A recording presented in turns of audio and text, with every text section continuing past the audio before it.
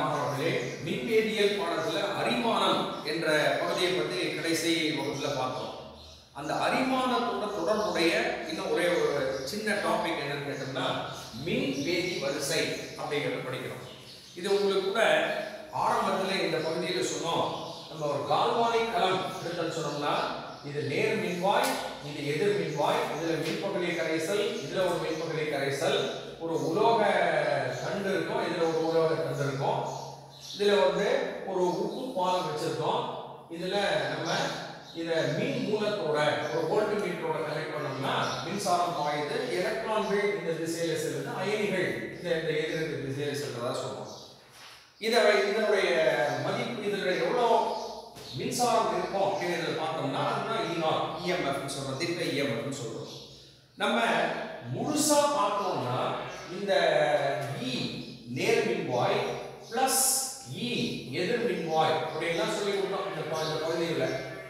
இதை பார்க்கலாம். பட் இது இன்னும் தெரியாதுன்னு சொல்லுவோம் பட் இது வேணும் இது வேணும்னா என்ன பயன்படுத்துறதா சொல்லணும் ஞாபகம் உங்களுக்கு? திட்ட ஹைட்ரஜன் மின்வாய் அப்படின்னு ஒன்று எடுத்து பயன்படுத்துறதா சொல்லுவோம் இதனுடைய மின் அழுத்தம் எவ்வளோன்னா இது சி நாட் எவ்வளோன்னா ஜீரோ வச்சுக்கிட்டு உதாரணத்துக்கு இது வேணுமா? இதனுடைய இது வேணும் அப்படின்னா இந்த திட்ட ஹைட்ரஜன் மின்வாயை இங்கே வைக்கணும் இங்க வச்சோம்னா இதுல ஆக்சிஜனேற்றம் சில ஒழுக்கம் நடக்கும். இந்த இது ஜீரோ இது மொத்தம் எவ்வளோன்னு சொல்லி பார்க்கலாம் நீங்க. இது ஜீரோ போது இது எவ்வளவு?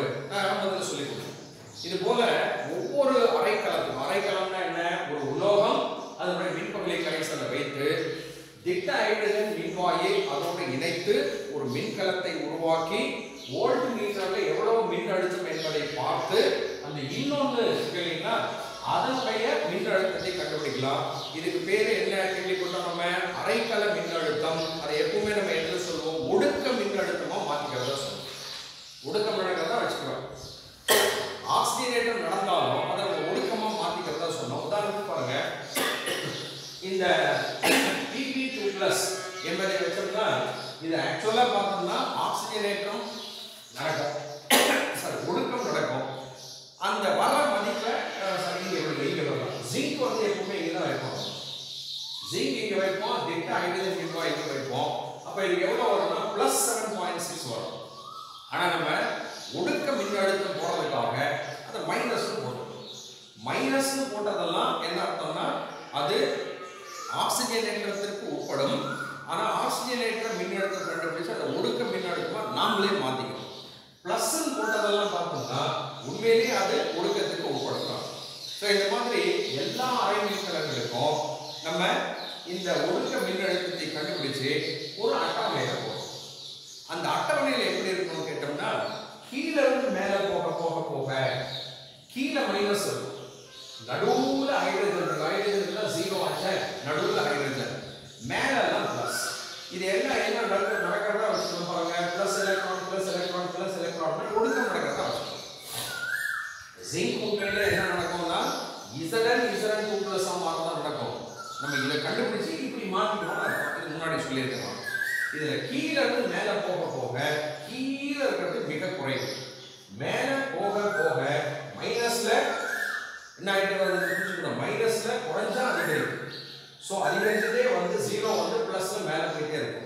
இது மாதிரி அரைக்கலங்கள் எல்லாத்துக்கும் ஒடுக்க மின்னழுத்தம் கண்டுபிடிச்சு கீழே இருந்து மேலே வரிசையாக அதிகரிச்சதே போகிற மாதிரி போடுறதுக்கு மின் மின்வேதி வரிசை பேர். புரிஞ்சுக்கலாம்னு பார்த்தோம்னா இதுல எது ஒழுக்கத்திற்கு எளிதில் உட்படும் பார்த்தோம்னா இதுதான் பிளஸ்ல இருக்குது. இதெல்லாம் எளிதில் ஒழுக்கத்துக்கு உட்படாது. ஆக்சிஜனேட்டத்துக்கு உட்படும் ஆனா நம்ம ஒழுக்கமா நாம கற்பனை பண்ணி மைனஸ்ல போடுறோம் ஸோ இப்படி போக போக போக இது என்ன ஆகிட்டு போகுது பாருங்க e இ நாட் அதிகரிக்கிறது.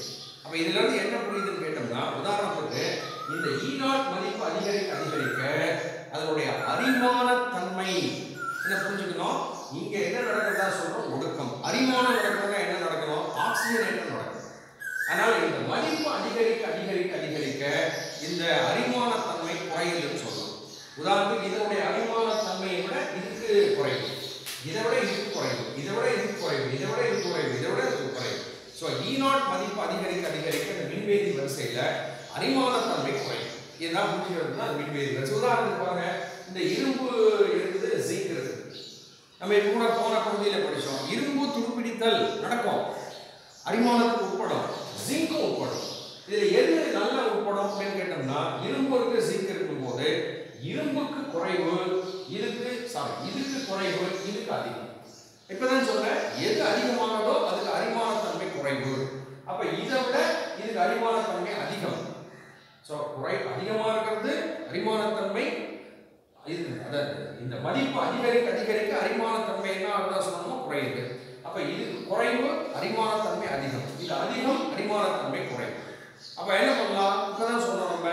இரும்பு மேல ஜிங்க் பூச்சு பூசணும்னா எது அரிமானத்துக்கு உட்படும்? ஜிங்க் மெக்னீஷியம் பூசணும்னா எது அரிமானம் உட்படும் மெக்னீஷியம் அதனால் இந்த துருப்பிடித்தல் அரிமானத்தை தவிர்க்கிறதுக்கு என்ன பண்ணலாம் அப்படிங்கிறத சொல்றதுக்கு இது மின்வேதி வரிசை பயன்படும். மீண்டும் சொல்றேன். இந்த வரிசை போல என்ன புரிஞ்சுக்கணும் நம்ம? இந்த ஈ நாட் மதிப்பு திட்ட ஒடுக்க மின்னழுத்தம் அதிகரிக்க அதிகரிக்க அதிகரிக்க அரிமானத்தன்மை குறையும் அப்படின்றத புரிஞ்சுக்கணும்னா எதை கொண்டு அரிமானங்களை தடுக்கலாம் புரியும். உதாரணத்துக்கு சொன்ன மாதிரி இரும்பு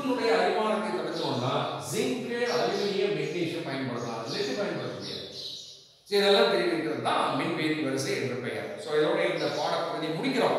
இந்த பாடப்பகுதியில் நம்ம என்னெல்லாம் படித்தோம் பார்த்தோம்னா மின்வேதியியல்ல முதல் பகுதி என்ன படித்தோம் அப்படின்னு கேட்டோம்னா மின் பகுதிகளுடைய கடத்து திறன் அப்படின்னு சொல்லி படித்து மூணு விதமான கடத்து திறன் பார்த்தோம்.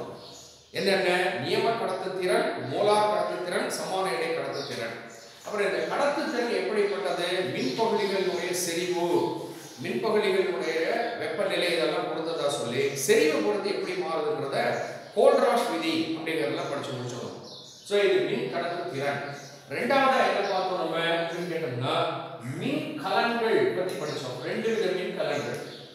மின் வேதி கலன். என்னென்ன? ஒன்று பார்த்தோம் சொன்னோம்னா நம்ம அன்றாட வாழ்வில் பயன்படுத்தக்கூடிய ரெண்டு வித மின் கலன்கள். என்னென்ன? ஒன்று ஞாபகம் இருக்கும் கடைசியாக பார்த்தது மின் வேதி கலன். மின் வேதி கலன் அதுக்கு நான் ரெண்டு படிச்சோம் நம்ம. இன்னொன்று மின்னார் பகுப்பு கலன். ஸோ மின்னார் பகுப்பு கலன்ல நம்ம மின்சாரத்தை கொடுத்து வேதிவினை நிகழ்த்தும் மின் வேதி கலன்ல வேதிவினை நடந்து நமக்கு மின்சாரம் வரதா படிச்சோம். இதுதான் அடுத்தது இதுலயே நம்ம பேட்டரிஸ் பத்தி படிச்சோம். கால்வானிக் கலங்கள் அப்படின்னு சொல்லி அதுல இந்த மின் வேதி கலங்கள்ல பேட்டரிஸ் எல்லாம் பார்ப்போம். கடைசியா இந்த மின் வேதி வினை மூலம் நடக்கிறதா? அரிமானம் துருப்பிடித்தல் இது வரைக்கும் படிச்சு முடிச்சிருக்கோம் ரெண்டு பகுதி இதில். ஒன்று மின் கடத்து திறன்.